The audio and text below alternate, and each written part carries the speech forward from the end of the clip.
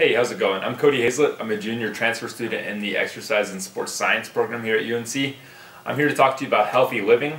I like to stay healthy here on campus. It helps to make me feel better. It helps to eliminate stress during the semester, which I know everybody has a problem with at some points.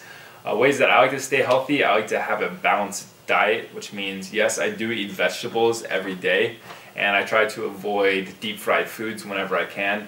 I also try to get into the gym or do some sort of exercise at least three or four times a week. This helps to get my, my blood pumping and makes me just all around feel better.